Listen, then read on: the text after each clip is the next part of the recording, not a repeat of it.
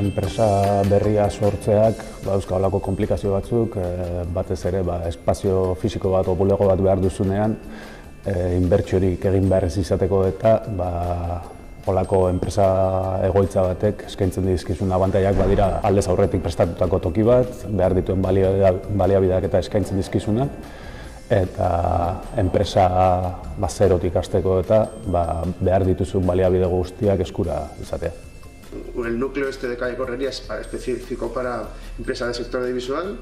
Eh, es un alquiler súper, súper asequible para una empresa que, que empieza pues un alquiler a este precio está muy bien. Para nosotros eh, tener aquí nuestra empresa supuso una oportunidad eh, a varios niveles. Por un lado, para darnos a conocer. A nivel de, de formación, nos mantienen informados en todo momento de, de todos los cursos que se ofrecen.